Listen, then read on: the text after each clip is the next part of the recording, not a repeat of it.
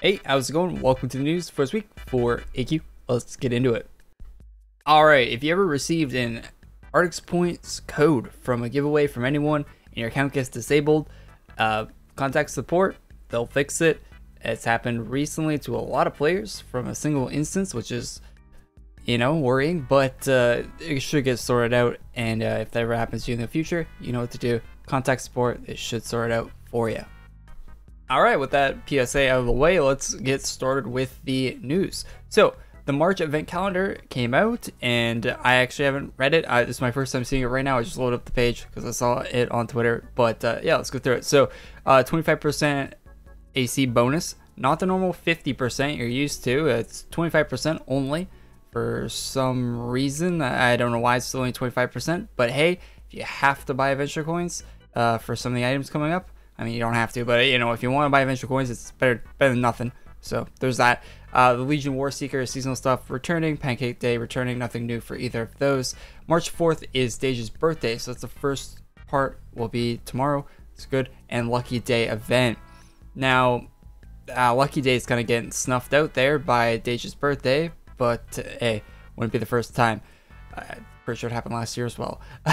last year was like a Friday the 13th uh, lucky day. It was, yeah.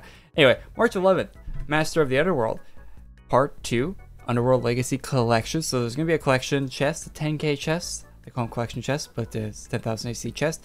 Uh, so that'll be out next week. The week after that is uh, another part to that, along with an update. I'm glad they're putting this in the Zyno so we know it's going to be a two week update. Will it be a three week update? I don't know. We'll probably figure out in the three weeks. Probably depends on how much they sell in the first two weeks, whether or not they add a third week. That's happened before, but uh, I hope it's just for the two weeks there, so we don't have to guess whether or not there's a third. Uh, Darkon's event is on the 25th, the end of the month.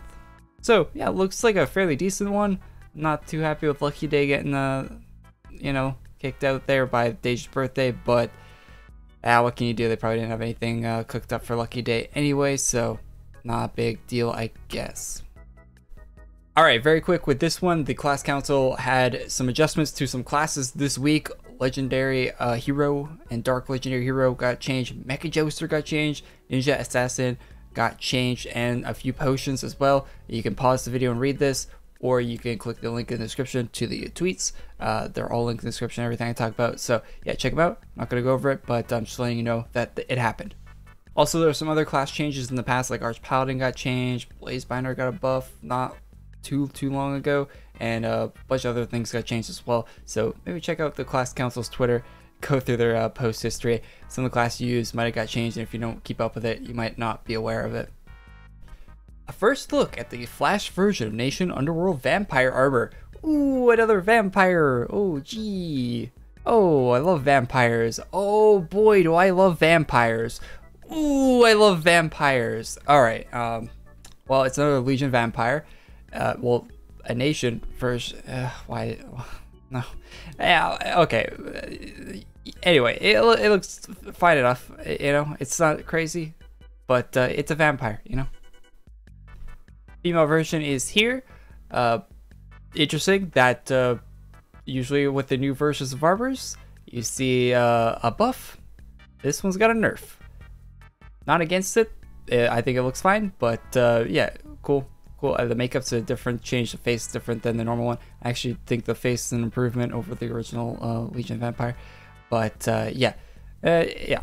Anyway, I would really like to see a darkened house in this art style that like is made to be a house and isn't just a map converted into a house. Like Darkon made a house map. The art looks so good.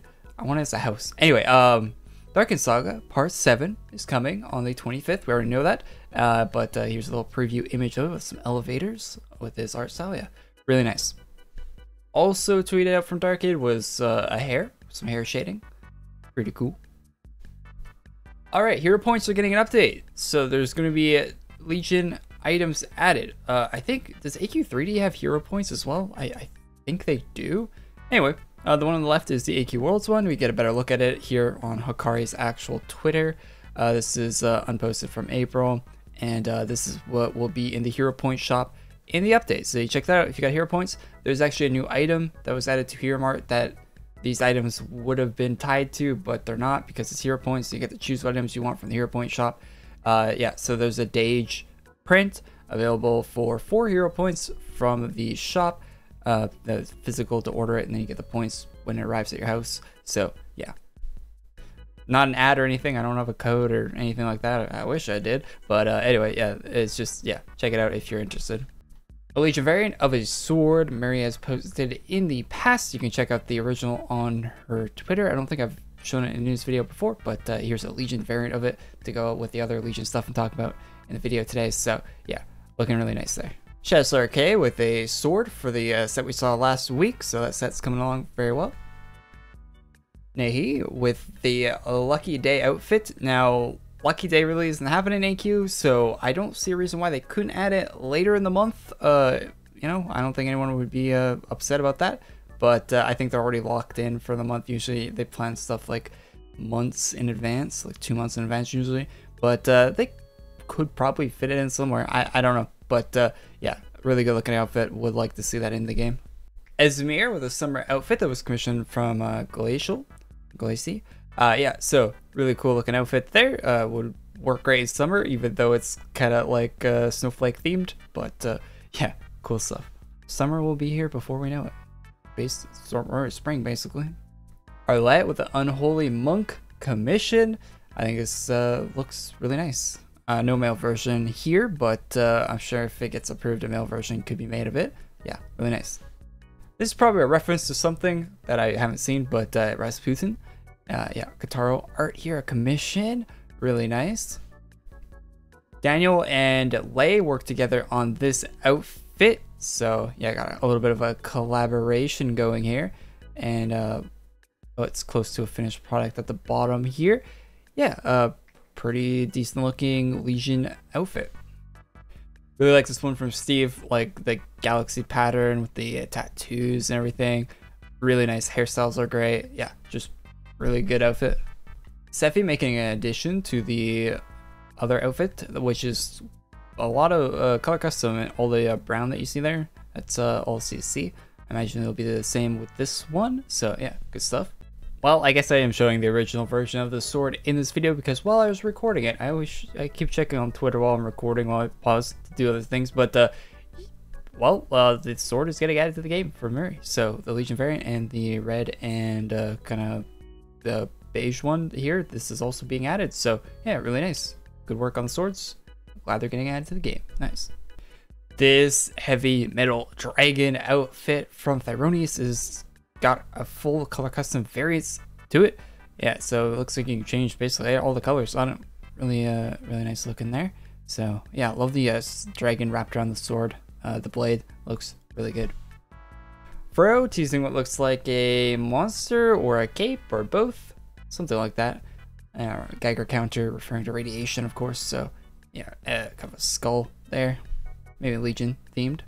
Outfit here from MCS. Now, I definitely recognize different pieces of this, like the shoulder, uh, the armor itself, but uh, I think it's definitely modified quite a bit, and I think it's a complete redo. I don't think he actually took any of it. I think he drew it all himself. So yeah, really nice uh, looking uh, outfit there. Good, uh, good take. Even if you are taking for other pieces and putting them together like that, it's still, yeah, it looks uh, good all together. And uh, yeah, nice. Antism with a Archfiend energy drink. So yeah, it kind of reminds me of the Kotaro items that were made a year or two or three ago, a while back. Kind of reminds me of those, the Hype Fiend stuff. Uh, I don't know why, but yeah, it's just similar kind of style to it. And uh, more drinks and snacks coming your way. Drops this week include some wings, Zero AC Underworld Cape, available right now. Go get it. Also a spear to match and if you're interested in what's coming up for drops, they released the whole list until the 27th of March. All the drops you can see if they're rare or permanent, everything. Pause if you want to pause or check the link in the description for the link to the tweet. Uh, probably a better thing to do it there. But uh, yeah, really cool that they put out a list there. I'm looking forward to a few things on the list, like the uh, Ebol Hitman outfit, I think is a pretty cool one. Lucky Ranger gear has me interested. I am not sure what that's referring to, but it's got a cool name to it. And uh, yeah, some a few rare drops every week as well. So sure you check those out. Big thanks to everyone that supports the channel in any way. Yeah, thanks to all the members and thanks to everyone that supports this channel. And uh, yeah, that's all for the news today. Leave a like if y'all liked it, subscribe to the channel if you're not already. I'll see you guys all tomorrow with the live stream of the event, the first week of the brand new stage, the birthday event. There's an ultra boss. Uh, you can actually see the anime. You can see some of the animations on the design notes. I didn't show them in this video because I don't know, it just takes too much time to show animations. But anyway, yeah, they're on the side notes. Check them out if you haven't seen them. And I'll see you guys in the next one. Peace.